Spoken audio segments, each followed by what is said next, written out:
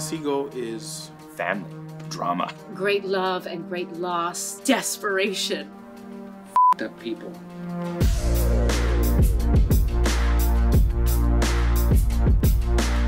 It is Hamlet meets August Osage County. You see the, the play reflected back at you. Is romantic and yearning and hilarious. If you've ever really wanted something and didn't get it, come see this play. It feels so now. I can't believe how long ago it was written. It's an, a revolution and an evolution. It's like looking at a magnifying glass of yourself. The Seagull's about me and you.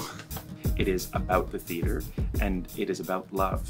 Is pretty sad, but kind of funny.